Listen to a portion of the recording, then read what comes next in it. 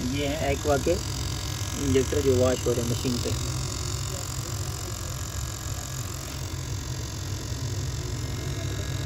ये fuel injector है? जी sir injector wash हो रहे हैं। हमारे फ्यूल इंजेक्टर सही है।